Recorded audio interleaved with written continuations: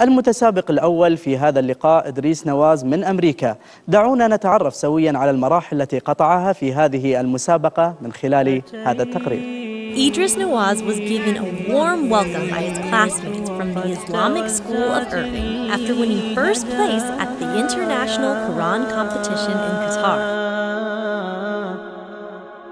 وحملت الرحال على المطايا.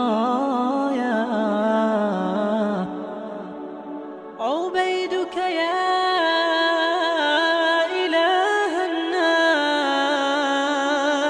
غاو. المتسابق. وليس. سواك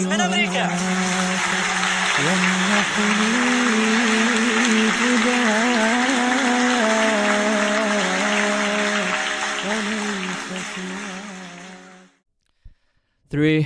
two, one. Welcome back to another episode, episode six. Already six episodes in. And today I have a really, really special guest. He's a good friend of mine. He's an amazing friend of mine. I've known him for years. He goes to the ICI Masjid. Um, if there's an event going on anytime in Dallas with the big sheikh or anyone famous, Idris is most likely going to be there. So the one and only Idris Nawaz. Assalamu alaikum wa rahmatullah. How are you, bro? Alhamdulillah, I'm good. Can you say wa alaikum salam? Walaikum assalam, That was such a whack intro. Tika, let's start. Let's Start it, bro. Who Yeah, cares? Actually, you're right. That was a whack intro, bro. No, it's fine. It's part of it's part of the thing. All of this is gonna go in. It's fine. Mhm. It's yeah. gonna go in. Yeah, it's all in. Are you Keep it sure? natural. Yeah, it's all sure? organic. Ah, Bismillah. whatever. Ah, bismillah. So anyway, so today I'm here with Idris. If you guys don't know who Idris is, Idris is a hafiz from ICI. He finished hifz at a very young age. And he learned the maqamat, also known as the seven tone of recitation, under his teacher, which is extremely hard to do. He then took those and he basically went and competed internationally and nationally and won so many Quran competitions. So to start off, who are you to the people who don't know you? I mean, uh, my name's Idris. Assalamu alaikum. My name's Idris. Uh, Idris Nawaz. I'm. I just turned twenty. Um, I've been. I was born in Boston, Boston, Massachusetts. I came here when I was, I think, like seven, maybe seven and a half. I started my hifz here at the age of like eight and a half, and then I finished when I was ten. And then from then on, I continued to study and went different places, met a lot of different people. Now I'm here speaking So, in front of you. One and a half years you finished hifz, right? Yeah, one and a half years. So the reason I wanted to bring on Idris today was because Idris is very, very, very qualified when it comes to this type of stuff, Islamically about the Quran, about knowledge, about hadiths, all those different things. I mean, we all know how beautifully you can recite. We all know how you memorize the maqamat and learn under your teacher. But what people don't know is that you've actually won so many Quran competitions internationally and nationally. You won the international Quran competition at Qatar at a very young age. You got first place. And I mean, you've studied under so many institute, Miftaah Institute, Michigan Institute. You went to Pakistan. But to start off the podcast, can you please explain your journey to becoming a hafiz and how? was I mean, like? okay, so when I was in Boston, um, Yeah. we used to like every Friday night we had this one program um, by this one scholar. He would come, and my whole family would go to this one masjid. It was a small masjid. The masjids in Boston, like when I was like growing up, they were usually small. There was not like a, a really big masjid. The really the the biggest masjid in the Boston area in Massachusetts was um, ICB. Was Islamic Center of Burlington. But there was this one masjid in a city called Lowell Mm. and every Friday my family used to go there, and um, we used to sit and listen to the talk, and there would be dinner afterwards. I think the first time where I actually got like when my parents realized that you know what this son we're gonna give him up for knowledge is when I was I would be like the only kid like at the age of like four or five who would be like sitting on in on my dad's lap and just listening to the talk you know, Mm. and all the kids would be running around all over the masjids outside. But I would be that one kid who was just focused on the imam. Mm. And the imam, he actually realized this one time. He's like, you know what, all of your children, you should look at this kid. You know, he's just sitting there and he's looking and he's like, he's fully focused. You know, and so my parents, that that's what they told me. They're like, okay, you know, this kid is a little different. We can use, we Mm. should put him just for dean Mm. And then after I was like, after that, I went, I used to go to Sunday school at ICB, Islamic Center of Burlington, which was like the bigger masjid in that area where we lived Mm. and um, I used to uh, I used to go to Sunday school, and I really loved hadith, which is something that I've loved until now. You know, I I, I loved hadith at that point of my life, and I remember there was this one um, book that we had to study about. Like we learned, I think. 100 hadiths Yeah, okay 100 yeah. hadith and then the time comes where we have our like islamic school graduation and my teacher was like you know what why don't you go ahead go ahead and on the stage just mention to a hadith but then me because i loved hadith so much i i memorized the book from beginning to end so I, from hadith number one to 100, I said the whole thing off the top of my head really quick in like five, ten, like in 10 minutes.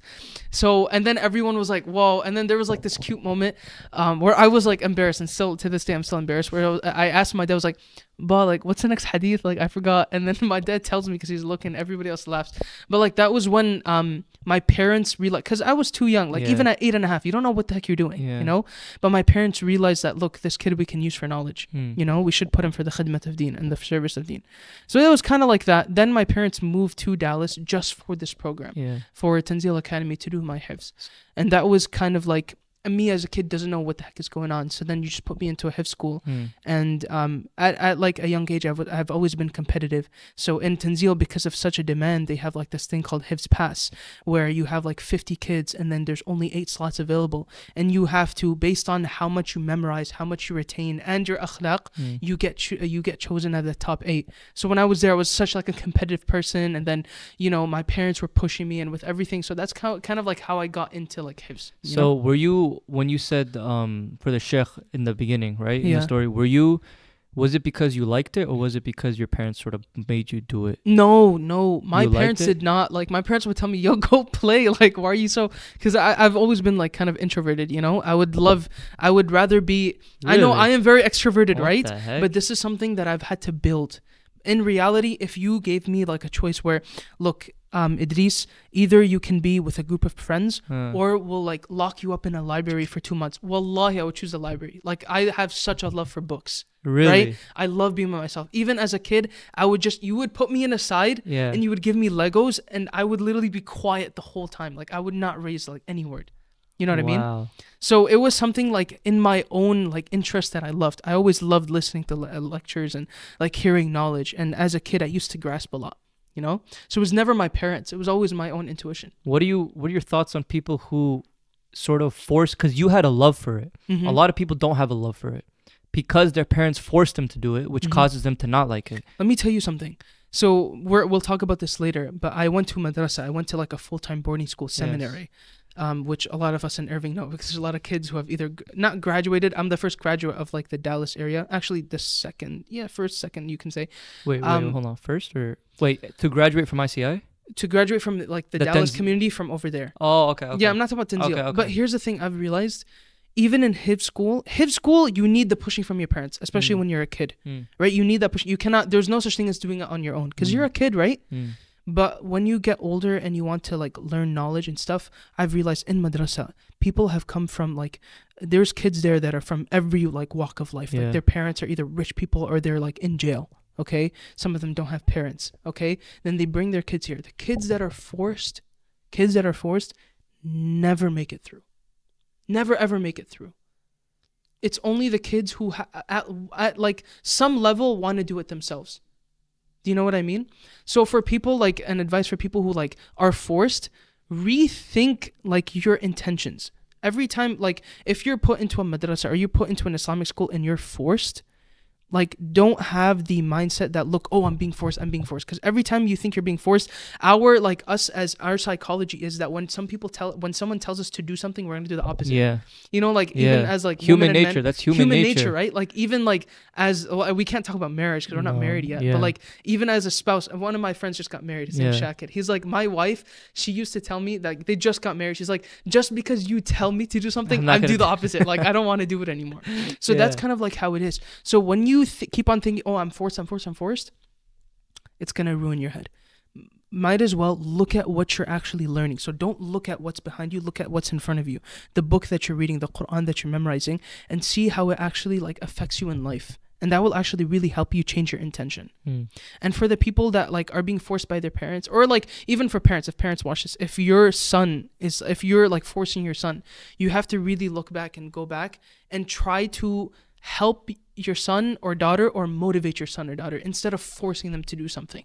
Because when they realize that, look, I'm learning knowledge or I'm learning the Quran for my own self and not because my parents are making me do it, I swear it makes a huge difference. And they'll do much more too. It's not They'll like do much more. Yeah. It's not like oh I'm doing it because I'm scared of my parents. I'm doing it because I genuinely and that's for anything. Like if if you force your son to play basketball, he's not gonna do well compared to if he actually enjoys it. That goes for any sport in general. Exactly. But I wanted to talk to you about that because how would you sort of um approach that with your kid if you uh, when you do get one? Would you Mm. sort of let's say he just doesn't have a passion for it because a lot of people are like that. For example, my brother when he finished hifz. You were talking to my dad about it. I don't know if you remember. You mhm. said you go to this school, that school. And my dad was like, "I'm thinking of putting my brother in there." Yeah. But when he asked my brother, my brother just had no interest in it. Not because he Mhm. doesn't he doesn't want to study, because it's just it's just not built for him. With kind of you know what I'm saying Yeah. with the intensity and the type of Mhm. studying you guys go through. So my dad was like, "I'm not gonna put him in." Mm-hmm. And for me, when I saw that, I'm like, "That's a good call from my dad," because a lot of parents would have forced them in there. And they would have just not turned out the way they would want them to turn Mhm. out. So how would you approach that to your kid if they don't like it, if, in that Mhm. sense, or how would you make them like it? Mhm. It all starts from even before, even start even before Yeah. birth. Like you have to put that. You have to change yourself first as a parent. We can't talk about like parents and for our kids because we don't have kids yet. So if people like parents are looking at, they're like, who that like this is a kid. Like why is he talking? But something that I would. Uh, so I'm not talking about as a parent. I'm talking about as a child. Like how my parents kind of created the environment for me to go. So we're talking about it from that uh, uh, like perspective, and that's something that I would want to do for my kids too my parents before i was even like born or when i was like just a child they changed their lives. Like they were just like normal people. Then they went for hajj and they changed themselves. The first thing is to change yourself to change your spouse to change your family so that when your kid comes in you create such an environment that you don't have to force him to do things. It's just part of the environment. So like my own teachers mufti abdul rahman mufti abdul wahid their parents created such a mahul we say in urdu like Yeah. environment of knowledge and islam that they kind of they never had to force him. They already knew from the beginning that look i'm going like my like path is to seek knowledge Yeah. you know what i mean Yeah. so it's kind of like that building an environment first Yeah. where you're taking you always take your kid to the masjid you're always taking your kid for lectures you're building his connection with scholars you know as a little kid my dad would take me to this scholar that scholar you know he's his kid make dua for him you know so i was always looking at scholars listening to scholars being in the relationship with scholars and yeah. companionship of scholars, you know? So building that environment first. Then you do everything you can to try to make your kid understand that seeking knowledge and Quran will save him in this life. Apart from like you see all of these different like isms we say. You Mm. know, like you have these isms, those isms, like all these fitna, all this fitna and fasad and LGBTQ and all of these Mm. different things, right? So the only thing that can really anchor you into like deen is to study is to learn some form of Quran, is to be in the companionship of scholars. That's only that's the only thing that's gonna keep you steadfast on religion and kind of save you from that. Once you make your child realize that, then he chooses his own path. Now comes a thing where you've built the environment, you've kind of motivated him. Now your son doesn't like his fitrat, his intuition, his disposition is like he doesn't want to study. It doesn't mean that you failed him. Instead of forcing your kid to go to Quran school, instead of forcing your kid to um, go for madrasa, what you should do is don't force him because then he's going to go the other route. Yeah. Instead, like just keep him connected to deen. And which I always tell this to parents, and I'm not saying I'm not saying as a parent, but I'm saying as like a son, which Mm. my parents have like put this on me, is that always be connected to the masjid. As Yeah. long as you're connected to the masjid, Yeah. you're fine. I swear. Wallah, I can relate to that too, especially with like VRIC, because every time, like my whole childhood memories is just going to VRIC every time Mhm. there's an event over there and stuff Yeah. like that.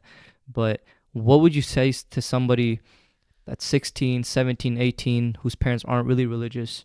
How would you fix that? Because Mm. there's a lot of kids, they're they don't their parents don't build an environment for them. Yeah. Their parents might not necessarily be religious, but how would you tell somebody, or s- there might be religious and they're 16, 17 year old, they're just not into that. You know, so like we can't really talk much about this from the parents' perspective, Mm. but we can talk about I can talk about it from a scholar's perspective. Yeah. I'm not a scholar, I'm a student of knowledge, Yeah. but and uh, we can talk about it from like 17, 16, 17 year olds themselves. Mm. Look, here's the thing. Um as a 16, 17 year old, we build some type of like we um we build some sort of some sort of experience in life where we do realize at one point of our life we do realize that look um my life of just like going around playing games talking to women um doing zina you know, all of these different things. This is not really going to forget like Islam and Deen. This is not how I'm supposed to be as a person. So at the age of like 18, 19, you kind of build that like perspective within yourself. So as long that's the thing, right? When you have that like paired with like once you realize that the lifestyle that you're living is wrong. Are you listening? I am. Once you realize that the lifestyle that you're listening is uh, that the lifestyle that you're living is wrong. Yeah. On top of that, you stay connected with the masjid Mm-hmm. and you stay connected with your imam and a Mm. scholar, Mm. then you're completely fine. Now, this is where us as like students of knowledge Yeah. And scholars, this is where we have to step up our game. There's so many people, we know so many youth, like 18, 19, 16, 17 year olds that are, com- like, I know like this one dude, he goes to an Islamic school. He's like a, he's like a kid. Dude is drinking alcohol. Yeah. Like out of everything, like you're drinking alcohol. Yeah. You know what I mean? So it's our like people who have like like me. I have like I was born and raised in this community. Mm. You know, I was born and raised in America. I've been in this community. So me as a youth and a, a person who has learned knowledge, I can connect with these people more. Yeah. You know what I Don't mean? you think it's a blessing for you too? Like, Alhamdulillah, it's such a big blessing. because you're born into it. Yeah, I was born into it. I've experienced. I've had friends that have gone through it. I have friends who were who've literally become murtad, bro. Like who have literally Yeah, I know the a fold couple of people Islam, too. I know a You couple know? people too. bro. It's so guy in my sad seeing it, bro. class, bro. One one guy. That's that's the thing. Even if you're in madrasa, even if you're in the most holiest place, it, well, you're not safe.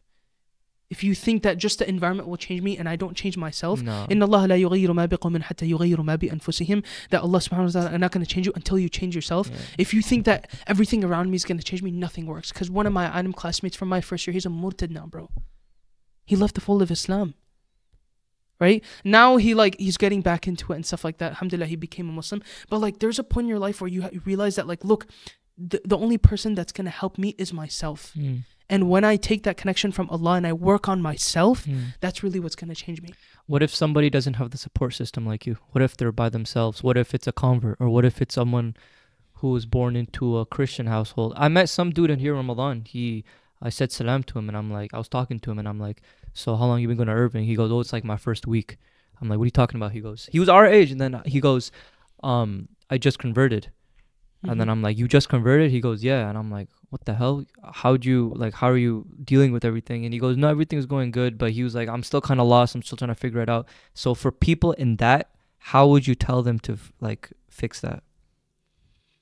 you know you know here's the thing um for a person who always wants to seek allah allah will always allow him to find a way like if you want it you'll find it Yeah. okay That goes for anything, by the that way. That goes for anything Not just religion. yeah i swear like it goes for like if you're broke you and but if you like you're looking for ways like you actually make an effort Yeah. to like like get money Yeah. you'll get it You'll find it eventually. yeah opportunities will always Yeah. come same thing for your dean and for like what really counts which is Mm. your your spirituality Mm, if you want it mm, you'll find it mm. how do you find it the, Allah subhanahu wa ta'ala says وَمَنْ أَعْرَضَ عَنْ ذِكْرِي فَإِنَّ لَهُ مَعِيشَةً ضَنْكَ Mm, that a person who goes away from my remembrance mm, lives a constricted life so we're, oh, we're talking about people who have no support system they're constricted they have nobody to go through mm, what I tell everyone and what helped me, wallah, wallah, what really changed my life. Even as a mother student, I was I was bad, but what really changed my life was start doing dhikr, start remembering Allah.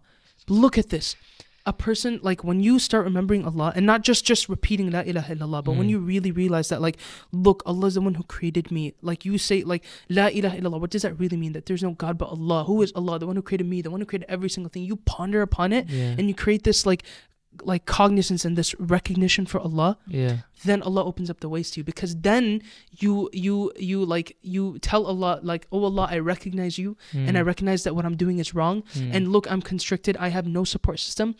Please find me the way. Mm. you know help me go down this path of spirituality. Help me tread this path of spirituality. And then what happens is you know what? A scholar will move into your area. Or Really? I swear, like Allah subhanahu wa ta'ala open up the ways to you. Or what will happen is like majority of these guys, you'll end up moving to Dallas. you know what I mean? Everyone's moving here, bro. Yeah, I know. Because the, the this environment. is yeah. one of the biggest things I've realized in America. People want to change, but they don't know what to do. That's a big, big, big thing because there's this one TikToker. I'm not gonna say his name. He I was seeing a video of him. He was one of those thirst trappers, posted videos, and then all of a sudden he just switched to making Islamic content randomly. And he made a video as to why he did it. And the first question he said was, he goes, "When I first started, the one thing I didn't know was where to start." So that's the thing. Like this is the biggest problem. People want to change, but they don't know where to start, mm. what to do. Mm. Like what like where do I begin with? Islam is so vast, bro. Mm. Like what do I start with? The first thing is you start with the dhikr of Allah hmm. because you're trying to get out of that constricted lifestyle and Allah uh, Allah says that woman an dhikri like whoever leaves my remembrance, he will live a constricted life. In Islam we have the concept of mafhum mukhalif. So when Allah says something like bad, if something is bad, then what does that mean? The opposite is what? Good is good. So when Allah says don't hang out with bad people, what is He trying to tell you? Hang out with good people. Okay, so when Allah says when a person who goes away from the remembrance of Allah, he leaves a con- he lives a constricted life, Mm. then what is he trying to tell you? Live a good life. Wait.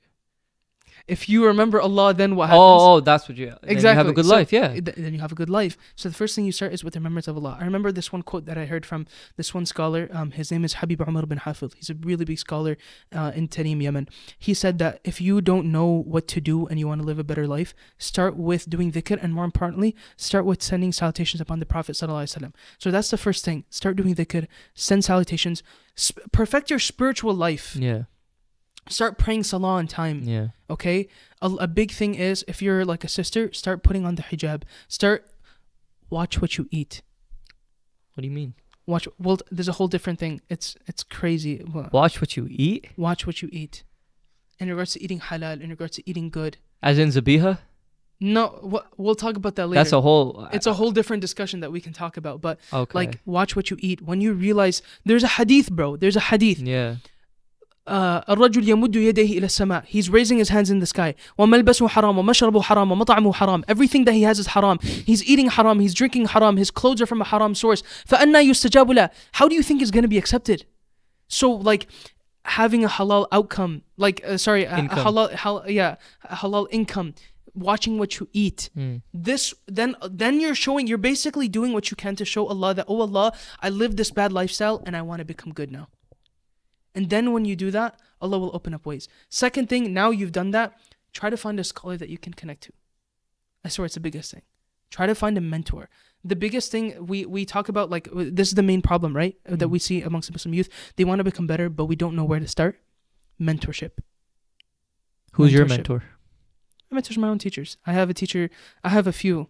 Mufti Zia, Mufti Asim. These are teachers that that are just they're crazy. Really? Yeah. But like you have to understand, you only go to those crazy, crazy people when you are. I'm not saying I'm high, but I'm not at the lowest stage. Like Yeah. I've improved to a sense. Yes. So my mentors are people who are at a high level, so they can take me to a higher state. But for the youth, people like me, who's like a sinner, like who's a dumb person, Yeah. we can help right of course we're sinners too and we might be even doing the same problems that they're they're like they're in like okay for example like a person listen to music and stuff like that people like us like students of knowledge who are still like improving ourselves we might be doing the same things but we realize it's wrong and we're trying to help people so we can all become better Mm. do you understand Mm. so mentorship, I swear.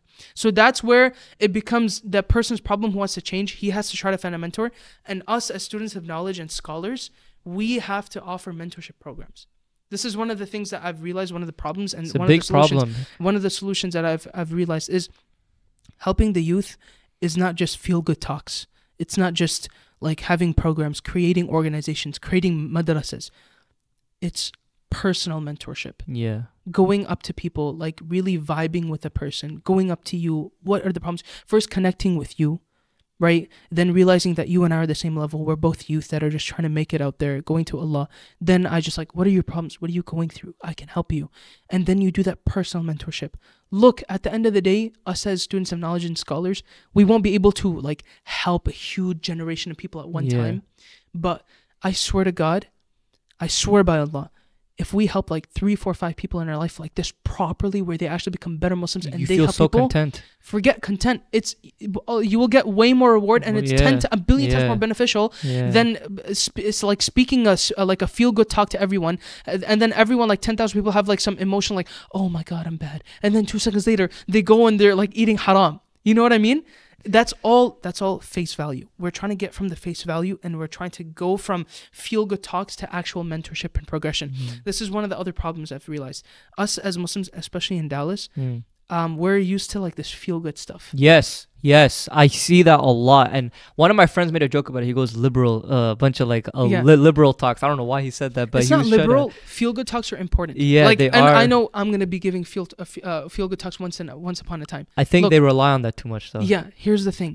Feel good talks, they fill in the gap of a certain demographic of Muslims Yes. that are like who are living that constricted lifestyle Yeah. and they need a boost to start getting Yes, into the Islamic lifestyle. Hundred percent. But you cannot stop at those feel good talks. You can't stop at being like just feeling good cuz that like you get some fire in your heart and it quickly goes, away, if like there's no what? Yeah. if there's no progression. What I'm like, this is something that I'm working on and something Mhm. that I'm trying to brainstorm when I come back to Dallas is trying to fill in the gap of progression. Us as Muslims over here in Dallas as the youth, we don't have progression. We just have feel good talks. Okay, feel good talks. You listen to a couple feel good talks, then you feel that same emotional thing, Mm. and then you go back to doing what you're doing back. Mm. You need to be able to make that little spark in your heart become a fire. And that is through progression. Making people like go through that like progressive um, ladder of spirituality where you just go from listening to feel good talks to actually bettering yourself to seeking knowledge to not becoming a scholar but knowing enough to better yourself then helping others. Yeah. One person that doesn't do a feel good talk, but when those lectures where they just speak about the reality instead of, you know, speaking about Jannah 24 7, Muhammad Hoblos does a beautiful job at that. Wallahi, I swear to God, if you listen to him, bro, amazing, amazing, amazing job because he, like, you know, people have his opinions on him with the way he yells and all that stuff. But me personally, wallahi, I love it. Yeah. So many people get pissed. My mother was like, bro, why do you listen to him? He's like, I put the lecture on once and she was going crazy. She was like, bro, he yells too much. It's not how you give dawah. I'm like, maybe it isn't. I'm, I'm not an expert on how you give dawah or not, but it hits the reality of life. Hits the reality of life. And he feels that like it's it's that progression that we Yeah. need, you know? Yeah. And even I'll be honest with you, that's it's like it's still feel good. It still feel good, but on a different Yeah, level whole different other. whole different level. So you can go like full feel good, like, oh yeah, you're doing great. Allah loves you. You can make sins. But you'll be punished if you do this. yeah, this, then you go to him, and then you actually go to the actual progression, which is like start like actually bettering yourself, purifying your heart, going through that like module of of, of spirituality and life, and then you go through seeking knowledge. It's a whole progression. Yeah. That's what I'm working on. We don't have progression. We've stopped at feel good. Hmm. Because you know why? I'll be honest. Feel good gets you a lot of views. Feel good gets you likes. Feel good gets you more followers. Hmm. Feel good gets you more of an audience. Progression doesn't because people just want to, you know, they just want to feel good, you know, but they don't want to progress Islamically, spiritually. You know what the sad part is? A lot of this feel good stuff, I see it on TikTok all the time, which is fine. But when I see lectures that like Muhammad Hoblos gives or people where they give the reality, people don't like that. Yeah, I've seen don't- that a lot on TikTok. I don't understand. But at why. the same time, look, you have to. At the same time, you can't bring Hoblos into us. Like everybody fits in a different demographic. yeah, His yeah, 100%. demographic of Australia, bro. Those guys are like straight. Like they're all affiliated with gangs. Like they Yes, like yes. they, those guys kill people for a living. Yeah. So he's talking to them. So he's using a stern tone. Us as people in Dallas, like what? Nobody's killing each Yeah, other. we're people, not- we're not people do drugs and stuff, but we're not like it's. We don't have to speak to them in that like volume and tone. Yes. So if we speak to them, like that's another thing. Us as scholars and uh, and students of knowledge, we have to understand how were we able to disseminate knowledge from what we learned in madrasa from texts that are 800 years old into the Muslim society nowadays. I was dealing with a person who was homosexual. He was gay. Now imagine I told him everything that I learned in madrasa. Oh no. This haram. I'm not gonna go because Yes, you yes, know. yes, yes. I'm not gonna go into like the punishments that the, that uh, like the Sahaba, the Prophet gave to people who are homosexual, and like the hadith about it. But if I if I tell him that, do you think it's gonna do him any good? No, you have to go with like connecting with him. Like you, every person is different, right? How I make every person better, helping myself obviously, but making every person better and helping him like get hidayah and guidance is different for every single person. That's what you have to realize. Like over now nowadays, if we use Muhammad Hoblos type of uh, thing and we just start scamming people, no, it's not gonna work. Yes. But if we do that mentorship, personally going to people and helping them, Yes. and what you get like a realize of you realize like how they are as a person and using that to help them. You know the hadith anzilu nas manazilahum? Like you have to go down to people's levels.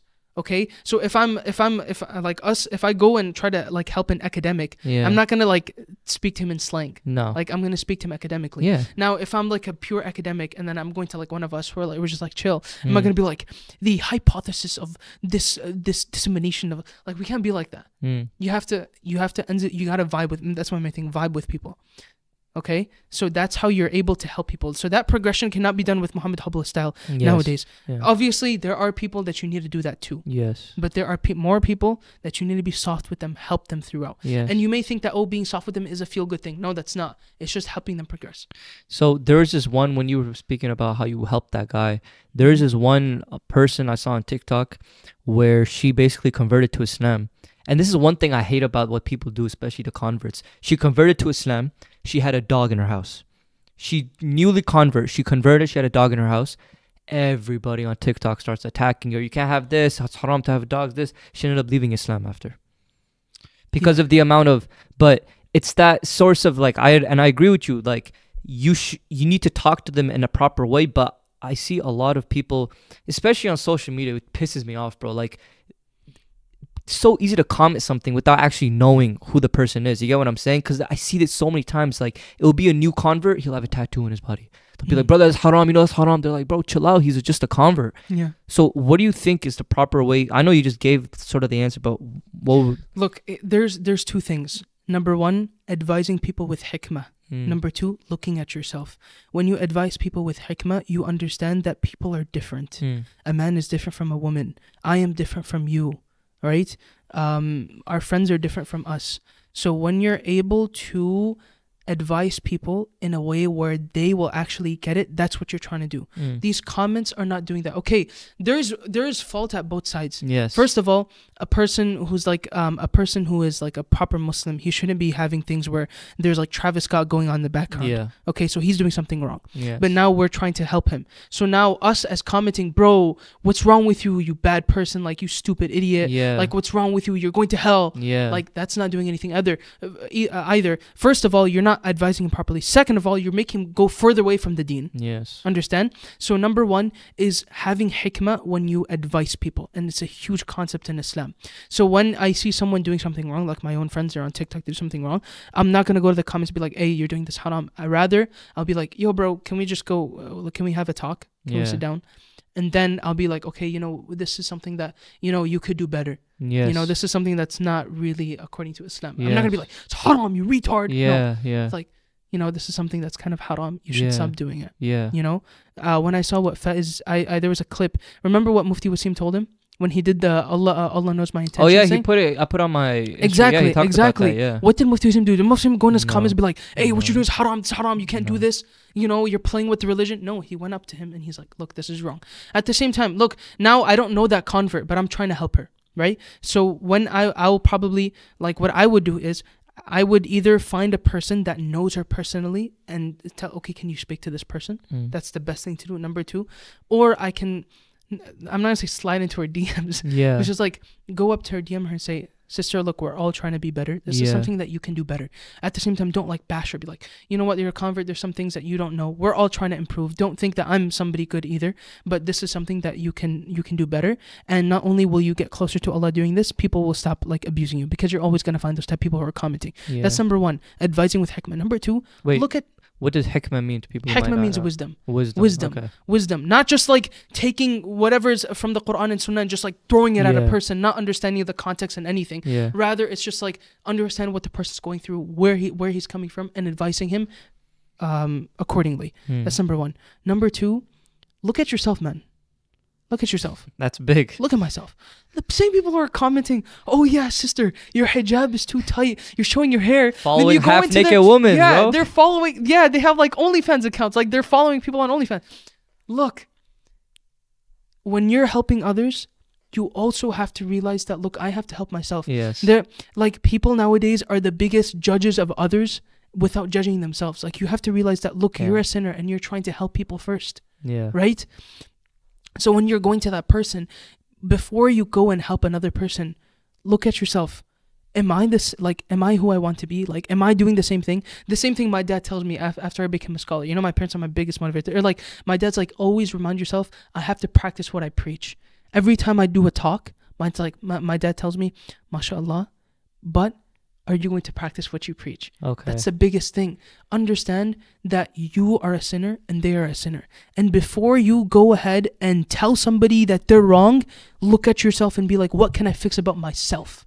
Is that an expectation you have on yourself whenever you give a khutbah or 100%. something, and then you go, whether it's listening to music or whether it's whatever it is, and then you go, I I might do that, I might have to stop, or do you have that fear of I don't want to become a hypocrite because I'm advising somebody, I'm giving a talk, but mm. yet I still might have a problem with it. So there's two extremes. There's one extreme of not being good yourself and just telling everybody that they're wrong and then you're a hypocrite. And there's number two where you feel like you're not doing something right and somebody else you see is not doing that same thing right. And you're like, look, I'm not doing, I'm doing it bad myself. So I'm not going to advise them. Hmm. That's another extreme. That's actually another form of bad that we see ourselves as sinners and we see other people doing bad. And then we're like, look, I'm doing that sin myself. You know what? He's going to just tell me, hey, what are, aren't you doing this thing wrong? You know? So, us as people, we have to constantly realize that we're trying to get better ourselves, and helping other people is a way of us getting better. So, when I tell people about like listening to music, I don't, alhamdulillah, I've stopped listening to music, but there's times where like, you know, like something You're something will drop. tempted. Yeah, I know- I know what you're talking I swear, about. there's so many temptations with other people, like it's with girls and things like that. With all of us, like Yeah. we're young guys, Yes. right? Yes. We're not meant So, to be perfect. We're, here. We're not meant to to be perfect, but we're meant to always be progressing and improving. Yes. Understand? yes, we cannot go backwards. So while you're progressing, you can help people. And you help people with the intention not to help them, but to help you. So if you're listening to like Travis Scott and I advise you, and I'm to be like, look, bro, I know how it is and I feel you on that. And this is why I want to help you because I have done better myself and I'm going through the same problem. And what I see within me, I see within you. So I want to help you. And through that, I'm trying to help myself. So when you advise people and you're wrong, like you're doing sins yourself, Yeah. you're like, look, man, I'm helping you, but I'm really trying to help myself. And that's more powerful too. That's more powerful than a scholar who came from India, Pakistan. It was like, what Haram, the hell is haram, wrong with haram. you? Exactly, bro. That's why it's such a blessing for us as people who are uh, at least closer to Deen than others, even though we're sinners. Yeah. We can really vibe with people. We can tell people, look, bro, you're listening to music. I, I've listened to it before, and I know how hard it is to stop, and I know how available it is to people, and how available it is to you. But here's some things that I did to stop, and you can try too. And you know what? You might see me listening to music one day, and that's why I'm advising you, so you can come and advise me back. When you tell a person, you advise a person like this, I swear it will change. They'll stop. Hundred percent. Hundred percent. What about to people who you do advise them, and they go, "This is a very common phrase. Only Allah can judge me." How do you deal with that? Because the reason I'm asking this is, I'm a, relate this to social media a lot because a lot of people that watch this are on social media. They'll do something, they post it. Wallahi, I see it so much. They'll post it. Someone will be like, listen, they'll advise them in the right way. They won't attack them. Be like, look, you know this is haram. Just you know, try to post it down. Only Allah can judge me. Only Allah can do this. And they're like, you tell them? what? You know what, what you tell them? what? If they say only Allah can judge me, tell them Allah will judge you. yeah, you know I what know, I mean? but but people have this false like not false. People have this false ideology that like, oh, only only Allah can judge me. Nobody else can tell me what to do or what not to do, as in advise them.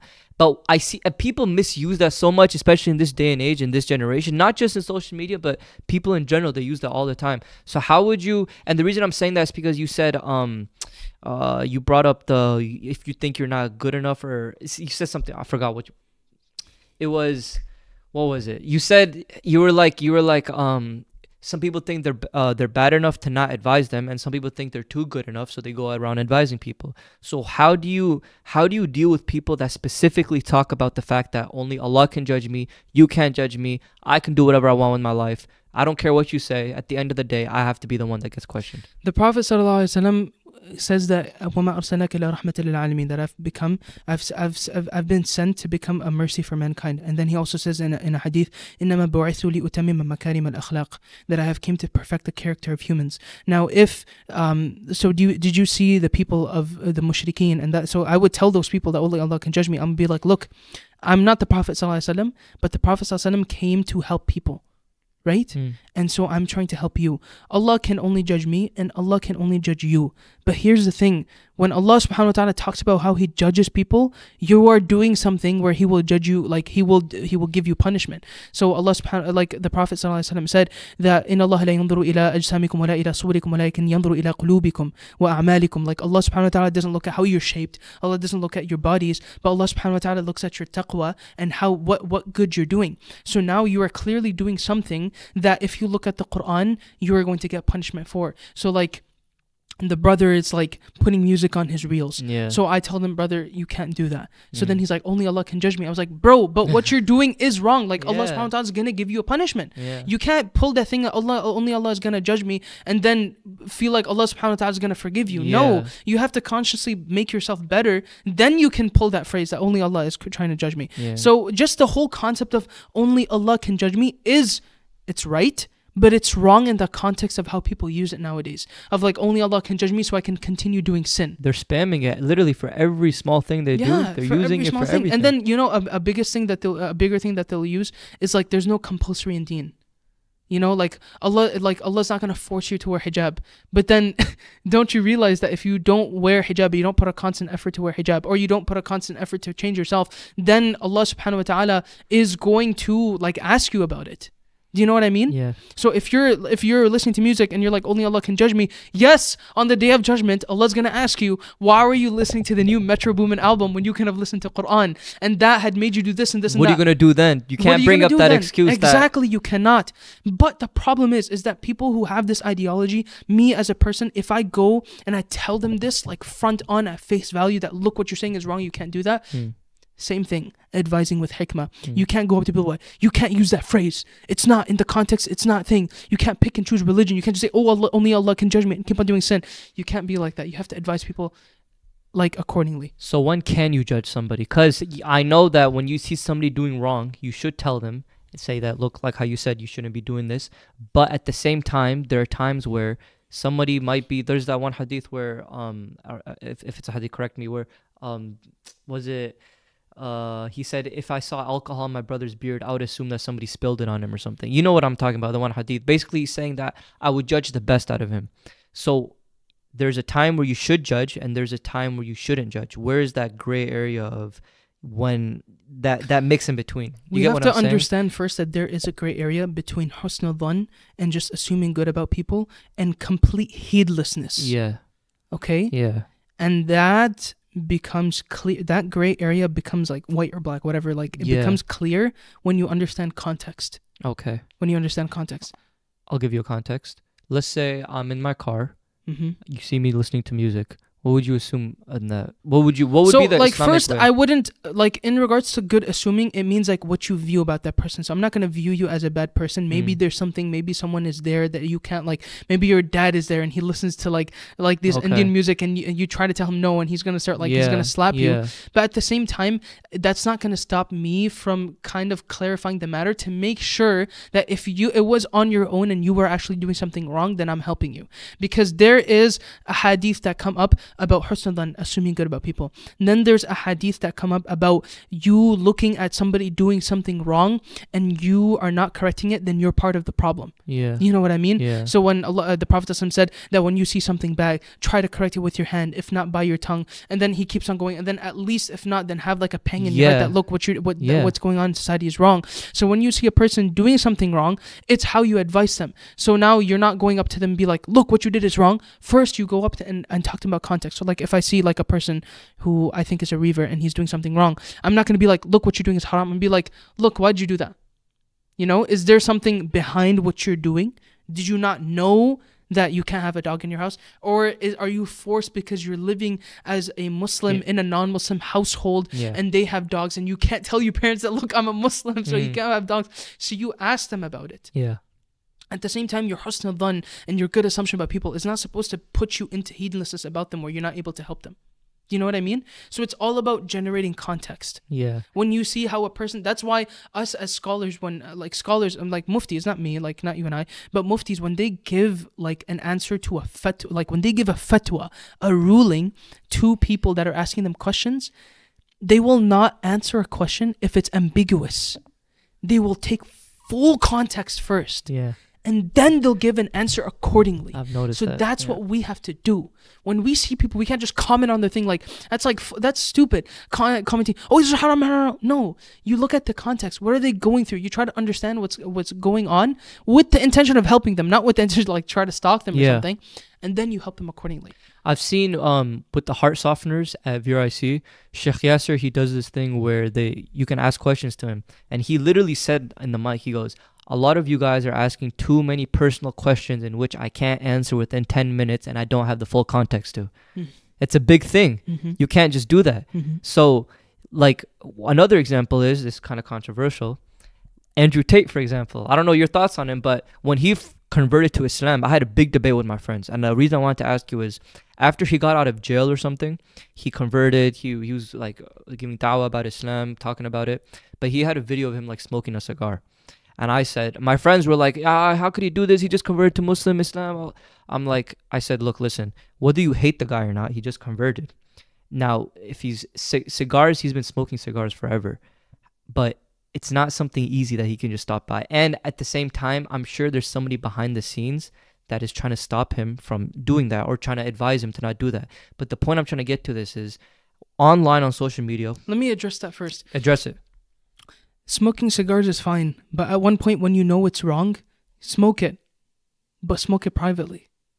Drink alcohol if you no, no, I'm not saying drink alcohol, but if you have an addiction where like you can't stop but you're trying to get better, Yes. why are you taking a video of it? At the same time, Andrew Tate, what I heard is like it's all on his Twitter, right? There's somebody else who's posting it for him. He's not posting it himself. Yeah. But at the same time, like there's so many different avenues and uh, like as like perspectives to it. You could say that oh yeah, there's someone who's like posting it, but at the same time you can say oh yeah, everything goes through him.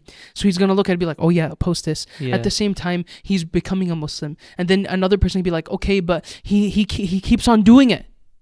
He Mm. keeps on doing it. Mm. So why are we doing that? And it becomes a problem. That's why I tell people, look, we wh- whether Andrew Tate is good or not, Yes. I don't recommend people to listen to him. Okay. I don't. Do you know why? Nowadays, us as society, we perceive everything like through black and white. Our perspective of life is not multi multicolored.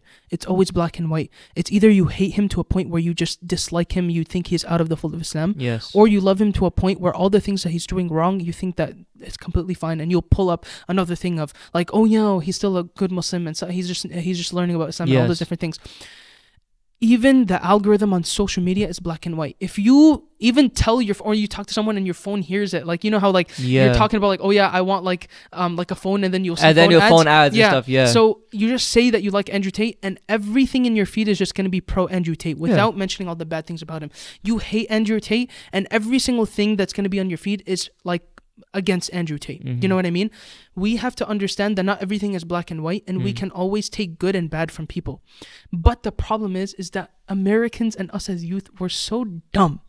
We're so black and white oriented that either you hate him and you like the the things that he said that you can take benefit from that are actually important, you're like, no, hell no, I'm not gonna take from him. yeah. And then, or you become so pro Andrew Tate that you start wearing a wife beater and then shaving your head and having the thing and wearing those sunglasses and everything that he says that is bad. And when he t- uh, mentions in his tweet, worship me, or when he's drinking alcohol, you're like, no. And then you start making excuses. Or worse than that, you start smoking cigars. yeah. Do you know what I mean? How do you go away from becoming um, a black and white person to where you just knock people fully off, like without taking any benefit from them, or you just you- you're infatuated by them, and then you go to a person where you'll be able to look at people and take good and leave the bad? Learning knowledge. When you learn knowledge, when you learn the foundations of Islam, you know what is right and you know what is wrong. Mm. So now when Andrew Tate talks about like the Matrix or something about like uh I don't know something that he says which is actually true. like working out and all that yeah, stuff. working yeah. out, don't vape. Yeah. Do like that, that thing go of like get stop vaping. Yeah, like no, not even go get money. That's no? that's a bad thing. Like not a good it's not a bad thing, it's not a good thing. We'll talk about that. okay. But like when he says stop vaping, go do some push-ups. Like meaning like get your life together. Yeah, get that. your life yeah, together. Yeah, I get what you're saying. take benefit from that. But then when he talks about other things that are maybe bad about like Yeah, women and stuff yeah. like that, then you leave it. The problem is that us will follow the bad stuff too. Yeah. Or will hate the stuff that he says too. So it's kind of like you have to understand that you can take good and you can leave the bad from every single person. Mm. And you have to learn knowledge and have a good foundation of Islam to do that. Mm. Or else just stay away from the controversy. If you feel like you don't know uh, uh, enough about Islam and you haven't studied from a scholar, not just reading online fatwas or like going and searching in books, how you seek knowledge is something that we could talk about. But when you realize, when you, if you don't have a good foundation of Islam, I recommend people don't listen to Andrew Tate. Don't whatsoever. Okay, so people like Andrew Tate. Mm-hmm. The Andrew Tate is not the only. He's not the first Muslim convert on social media. Yeah. Kyrie Irving, for example, he's a basketball player and he converted. There's so many other celebra- celebrities that have converted, but why do you think us kids, us Muslims, young people look up to people like them? Not just Andrew Tate, but people like that in general. For example, like I'm gonna be honest with you right now. I like a lot of stuff that he says, but there's a lot of stuff which I totally disagree with, like the with the way he talks about women in some certain areas. But when he talks about like go get your life together, stop being a bum, stop being at home, be like, I agree with that. But like I think I agree with you what you said how people just stick to one. They're either pro Andrew or they're against him 100%. They don't have that little gray area. But why do you think people look up to those sort of celebrity Muslims that just converted and they go up to them for like advice? And the reason I'm bringing that up is like you can take like I could look up to LeBron James in basketball.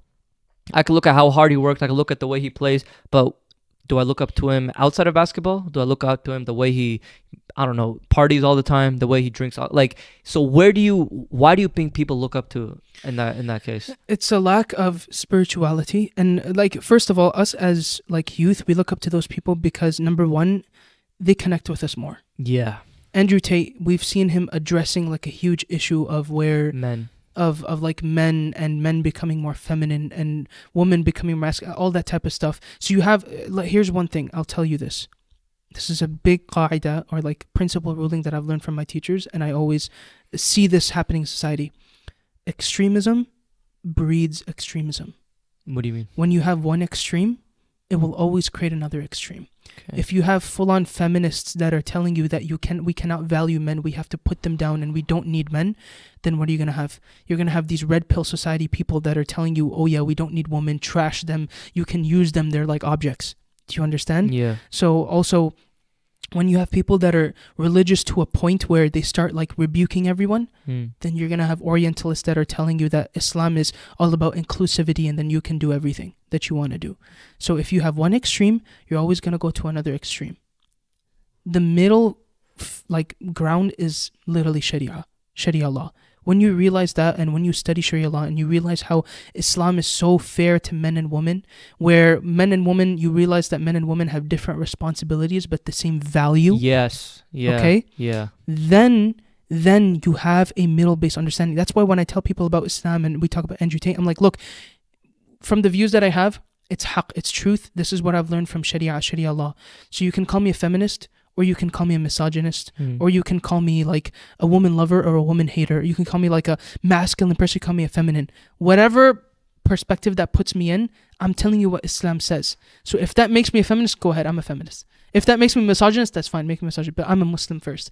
And when you speak by Sharia law, you realize that everything is out of balance. That's the thing. Right?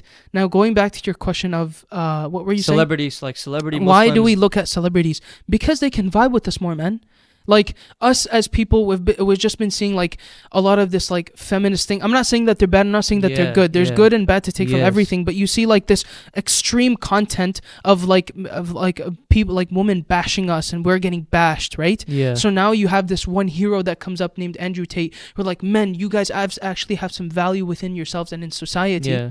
Then what happens? You're gonna have men that. obviously you're going to incline to him more so it's it's it's number one work has to be done on, on all three values the audience us as youth we have to realize that these people are just doing it right but they're not people that we should look up to Hmm. we can take motivation but we shouldn't go up to them for help number two andrew tate should realize that look that i am somebody that like majority of People like, follow. Yeah. people follow men and women nowadays right Yeah. so I have to get my stuff together. I have to really show them what Islam is about. I can't mess up. I can't like I can't like show myself. Uh, of course I'm a practicing Muslim, but when someone tells me something is wrong, which people have done, I can't keep on doing it on social media. I have to try to become better and better and better. Hmm. And I have to try to learn. Everything goes back to knowledge. I have to try to learn ilm, try to learn knowledge. Then scholars like and students of knowledge like us, we have to understand how we can connect with people without compromising deen. How we can connect with each other without like tainting the religion of Islam yeah. Right? Yeah. So when I go up to you and you're like you're listening to music, be like, "Hey, bro, I'm listening to music too." Like I just heard that like like I don't know like that Nav like m- like album that just dropped out or something like that, right? I can't be like that. I have to be able to vibe with you, but not compromise religion. Mm. Do you know what I mean? Mm. Once we realize how to do that and it's a process and it, it varies from person to person, then everything will become better. People will respect um, like these figures that are like Habib and these guys, Yeah. right? Yes. But and at the same time, they're not going to go to them for rulings, but they'll look up to them for motivation and support. Then they'll come to, to they'll come to scholars for actual like fatwa and uh, personal opinions on and actually how to live a balanced lifestyle. yeah. They'll go to them for lifestyle, like how should they live. They'll go up to the scholars for that, and then us as scholars will be able to help the youth by like vibing with them and connecting with them. And Andrew Tate will know his place, and he'll know like what like um like facet in society that he has to fill. So don't you think that you said we can relate to celebrities more, which I agree to, but at the same time, don't you think that um if I was to bring, for example, if I was to take a hundred kids from ICI and Valley Ranch together, and I was to bring some scholar all the way from Egypt, if I'm being honest, a lot of them really won't care as much because Why would you bring it from Egypt? That's what I mean. Think like, That- why would you bring people from? Outside? I'm saying like if I was to get a scholar or was to get a sheikh compared to if I was to bring like a Ky- Kyrie Irving who just became Muslim, who do you think they'll listen to more? Obviously Kyrie Irving because they can relate to. So I'm saying, do you think there are any scholars or sheikhs that can have the same effect that these celebrities have, which we can connect to on the same level? I think I think this. I think we Omar have to use. is one in my opinion. I know Omar Suleiman and I think Sheikh Abdurrahman Murphy. Okay. He he he really kind of. But here's the thing, we have to use these type of people who are like celebrities, like they're doing work that is not against Islam and they're very like Islamic. My main thing for that is Khabib. Like I love Khabib for that. bro. Like the dude doesn't uh, watch movies. The dude doesn't show his wife everywhere. Like he's not going around listening to music. He's not doing anything. I remember there was like a interview that he had with like watching movies. He's like Yes. don't watch too many movies. It's gonna make your heart hard. Like you need people like that Yes. and you need the scholars. So what we did in Miftaah was something cool, where we used his popularity and publicity, and we used the scholars that were teaching to create a mix. When we realize, when celebrities realize that, first of all, we have to become more Islamic. Second of all, when we work with scholars, we can really change the Islamic youth. And when scholars realize that, like, bro, nobody's gonna listen to you when you're after Isha talk. No. But you have to bring these celebrities first, help them, make them become good so people can look up to them, and then do things where you guys can work together that will help the youth. So that's what we did with the Khabib in Miftaah. You know what I mean? We brought on Khabib, right? We got his popularity. So many people were there. Non-Muslims were there. We took his popularity. We took his like traditional understanding of Deen, and we like really portrayed. it. Even the questions that we asked were not about like, you know, when are you gonna beat up Conor McGregor Yeah. again. Of course, that was a question, but it was just like, like Khabib was so happy when uh, when my teacher Mufti Abdul Rahman asked him, "Who's your favorite Sahabi?" Like that's what we need from them. No one's asked him that before. No too, one's bro. asked. He's like, I love that question. No one's asked me this before, you know. And then he was like, I think it was like Abdurrahman ibn Auf or Khalid bin Walid or something like that. So we need to understand how we can work With together. Khalid bin Walid. Yeah, it was Khalid bin Walid. But we need to understand how we can work together, and we need to understand which celebrity to choose. It's like you can't bring Kyrie Irving, you can't bring like other people. Like you have to bring people that are like I'm not. There's nothing bad about Kyrie Irving, Yeah, but you have to bring someone who's very like firm onto the the reason I'm smiling when you said all this is because I've talked to you about this. Habib is like outside of obviously the prophets and the Sahaba, if I was to list like three people who I just genuinely want to meet in this world, outside of that, outside of number one is Habib for me, bro. You know, I was about to get merch from Khabib. So I was in I was in Detroit, and um, I'm very close to like everyone in Miftaah because they're all my Yeah, teachers, and. I'm close to like their editors and like the people who work in the cameras and stuff like that. So I just saw like a box full of Khabib merch. you sent me a video. Yeah, I sent you a video, right? It's like full of like shirts, all Khabib signed, bo- like uh, boxing gloves, Khabib signed, and I was supposed to take one, and I had like full permission to take, You did. uh, but I just didn't find space in my bag. bro, what? Yeah. You had the, didn't- what are you talking about? I was talking about, about? to take like a full pristine Khabib signed glove, like full on. Like I sold that for like fifteen hundred dollars on eBay, but like I was about to take it. Um, but the only thing is like I didn't have space in my bag. But I have one of the one of my friends who is the editor. His name's Rehan. Shout out to Rehan. He's a cool guy. He's the editor for Miftaah. When he comes to Dallas for like they do programs everywhere Miftaah.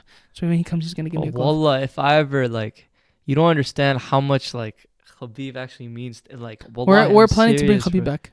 Miftaah is planning to bring. You know that was my soon. birthday too, right? January 25th when you guys did it. I was I was trying to come, but I couldn't. Wallah, like, I would probably cry if I met him, bro. I'm being dead serious, bro. Wallah, he's changed my life and like he's the reason I got into like MMA and like defending myself and all that stuff. But he's like You have to understand, like he's good, but he's not like he's not he's not. he's not perfect. No one's perfect. know, like you can debate like in MMA, like they're hitting the face, you can hit the face, and all that, those type of things. But he's the closest thing we can get. He is, but like he's just done so much for me without him even knowing about me. If that makes sense, you know what I'm He's saying? done yeah. it's crazy people- that like I'm talking like when I was talking to Omar Suleiman, he's friends with Khabib. Like me just knowing the fact that he's friends with Khabib, I was like, what the hell? Like I was so shocked. It just made me so happy. But how is how's Khabib like? Khabib's cool. I, I never got to really personally sit with him because you have to understand when Khabib comes, like he first of all he's super expensive. So he's so expensive. Like we're not gonna get into it because of the podcast and stuff like that. I can't mention how much Yeah. like Miftaah paid for him to be on there, and everyone they had to fly out his whole team, like private jets, all that type of stuff.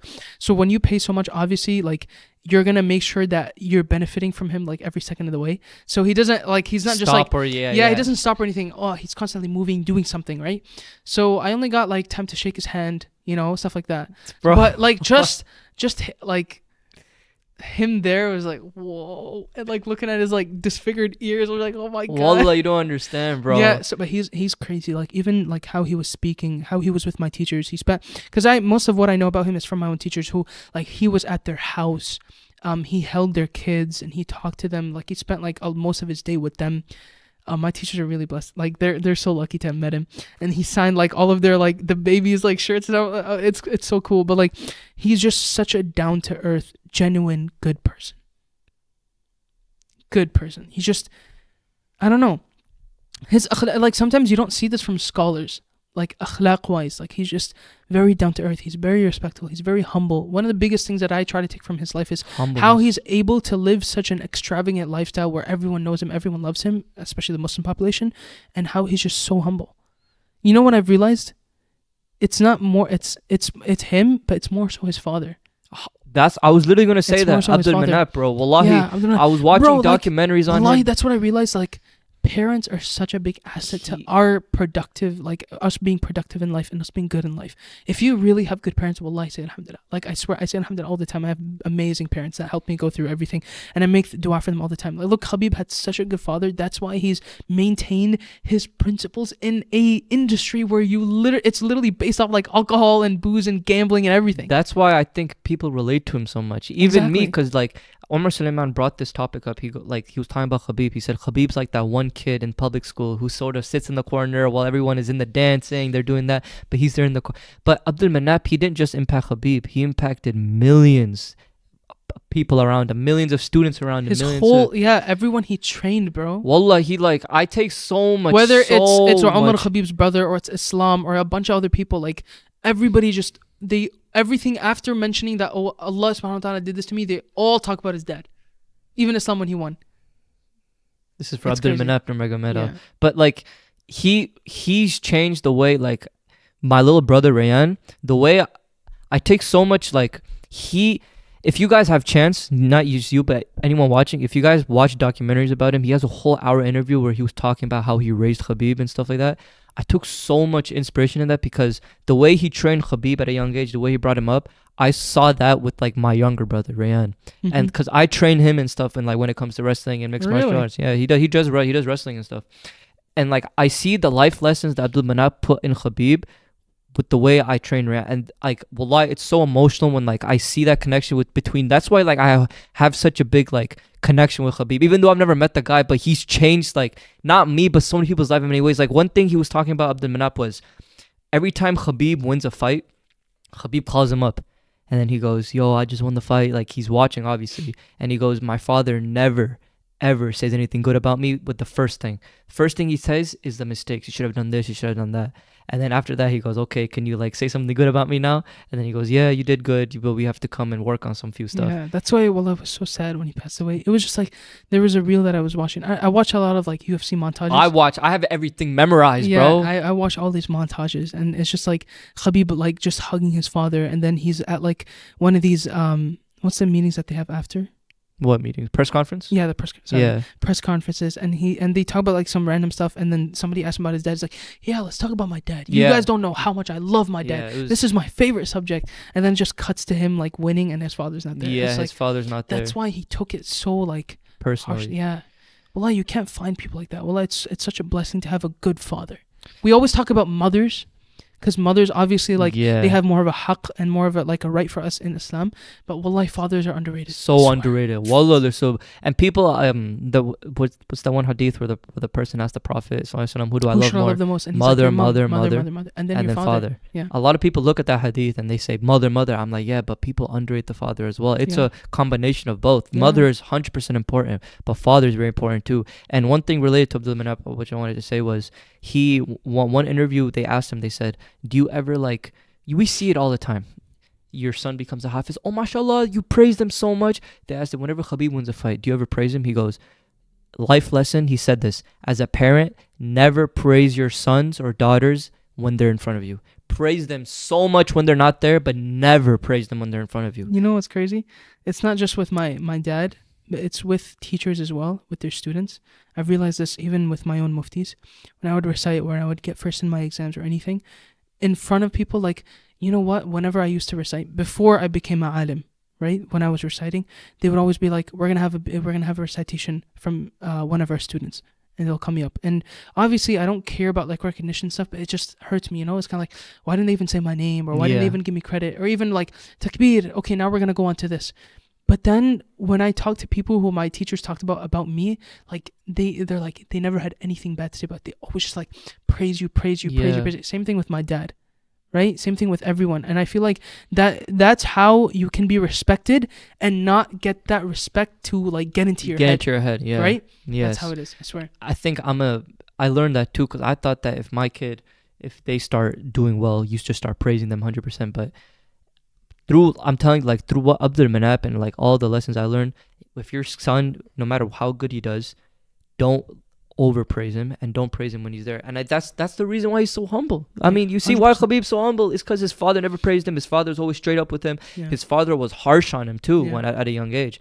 I but do you think that parents overpraise their kids a lot? Because I see that a lot nowadays, bro. I Again- see that a lot, bro. Yeah. And Again- how and and how Yeah. much praise do you think is necessary for a kid to be, you know, um, I would say. How much praise do you think is necessary for someone to give to their kid? Yeah, so we're not going to talk about it from the perspective of parents because we're not parents ourselves and Yes. we can't give that advice. But we'll, I'll talk about it in the perspective of a son who received Yes. praise from his parents. Yes. I realized how my dad did it was the best, where he he would not like Abdul Manap. He would talk about like, oh, you did this mistake. Mm. But my parent, my dad would start off with praising me, but not in a way how you think. Oh yeah, you did so good. And he was like, mashallah was good. I'm proud of you. He would Yes, say, I'm proud. of you. He starts, yes. I'm proud of you. These are some things that you can done, you could have done. But overall, I liked it a lot. So you start off with praise, but not praise. We're like, wow, you're the best. You you beat everyone. Just like you start with like, I'm proud of you. You did good. You put your you put like uh, you, you know you put a lot of effort into this, and I really appreciate that. Mm. Then you tell them the mistakes. When you tell them the mistakes, you don't be like you don't. This is another thing. Parents praise their kids too much. You always have to. It's always all goes back to like ex- two extremes. Parents either praise their kid too much, where they're they where they become oblivion to the like to the fact that their kids are doing so many bad things. They're like, no, my son is amazing. Then you have parents who like their son will do something good, and they'll be like, you did this bad, you did that bad. You know, like it's like a thing with Asian parents and even Desis. Yeah, It's like, yeah. why'd you get an A minus? You got an A plus. You should have done this. You should have done that. You're a failure. This Yeah. if you there's always a balance to this where you start off by saying i'm proud of you you did good here are some things that you can do where it can be better for you Mm. but at the end of the day i'm always proud of you that's the best thing i've done. Like that's the thing that my dad does to me and it, it really gets to me. Where i realize that look hey i did good. I shouldn't undervalue what i did and the efforts that i put but there's always something better i can do. So it allows me not to feel like bad about myself. You know what i mean? Yeah. I feel good, like, okay, I did good, but at the same time, uh, it gives me the realization that, look, everything that I did had like a fault and I can always improve. So I'm happy and I'm improving. That's as a parent, you want your son or daughter to do that. You they they're happy with what they did, but they still realize that they have to improve. So they don't become so happy that they're like, okay, I'm done now. And then at the same time, they don't become so sad they're like, oh, I'm not, I'm done now. So you want them to be happy and them to improve. And how you do that? I'm proud of you. These are some things you can do, and hopefully, inshallah, we'll work them out or, or, together. I'll help you, inshallah. We'll do it together, and then I'm proud of you, man. How do you prevent egoness in your kid or egoness in general? myself. Let's talk about we're talking about parent stuff. We can't talk about that, but within ourselves, like how do I stop ego? Not, biggest okay, thing not, is- not kids. Like, okay, Like us as ourselves, like, as a Siblings, person. people in general. yeah, how do you like prevent us. that How do we Yeah. prevent arrogance in ourselves? Yeah. As a person, I like to m- talk about this because I had the biggest ego problem. I mean, like, what the heck? bro. What are you talking about? bro, You? bro, listen. I become. I, I'm a hafiz at the age of Yeah. ten. I become like I'm just. I'm not boasting, obviously, but I'm Yes, telling you where I'm yeah, coming no, from. go. I I won I win an international competition where there's around like five thousand people who could participated from all over the world. Yeah. Talking about Arab countries, Morocco, like Egypt, where like Qurra are like like where they're born to be qaris. Yeah. And then you have this kid from America winning. On top of that, you give him thirty grand when he's like twelve. On top of that, like every scholar in the Amer- uh, like in the Metroplex knows him. He he he travels when he's at the age of thirteen to lead tarawih.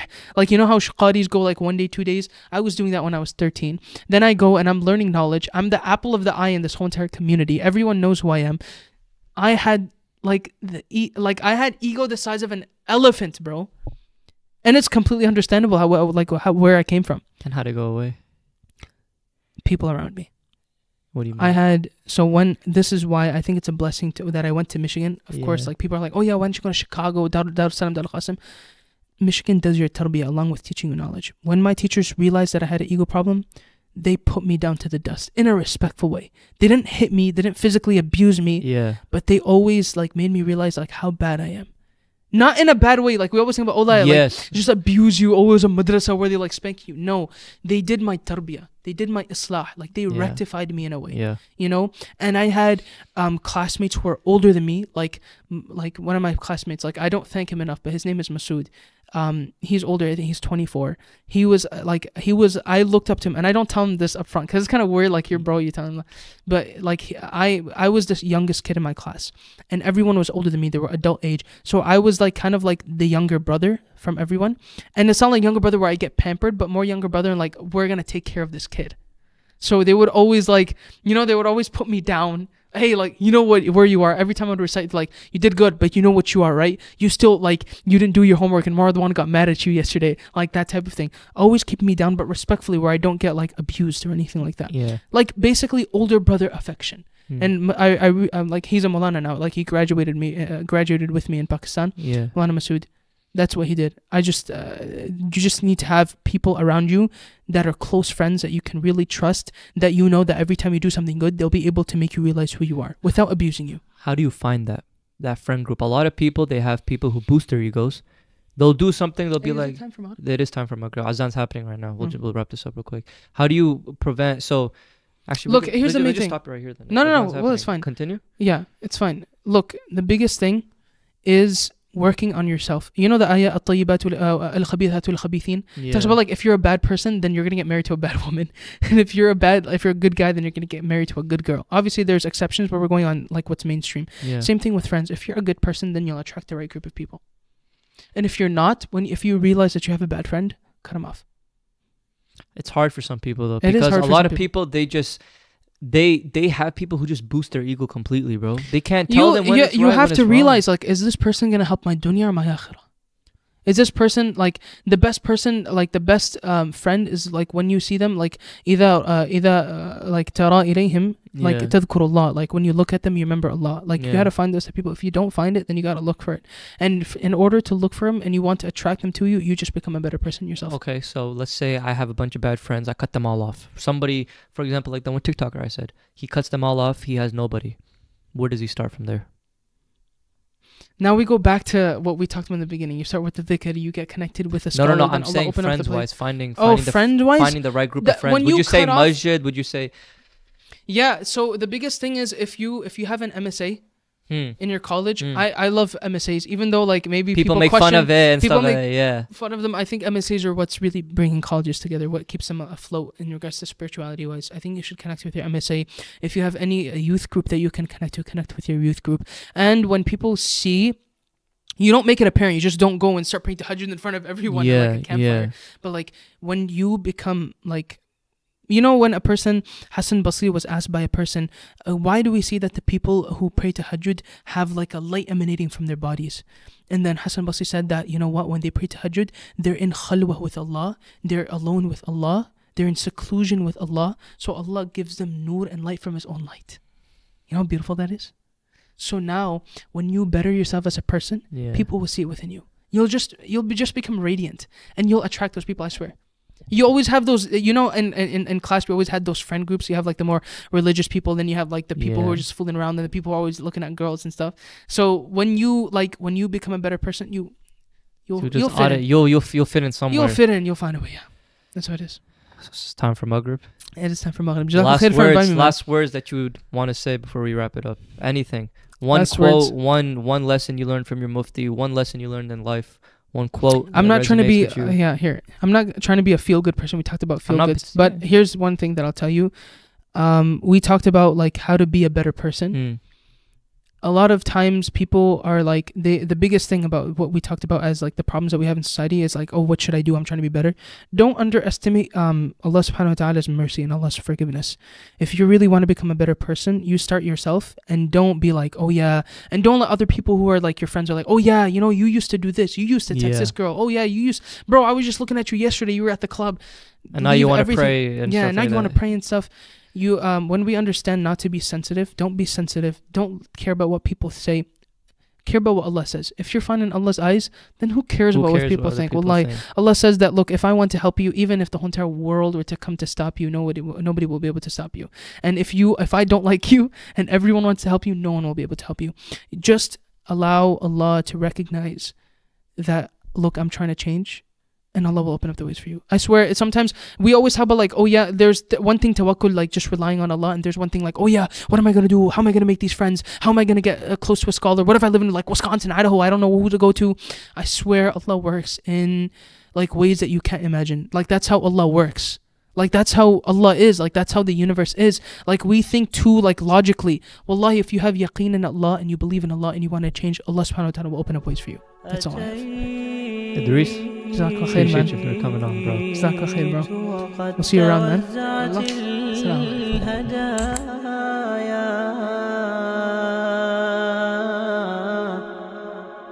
وحملت الرحال على المطايا عبيدك يا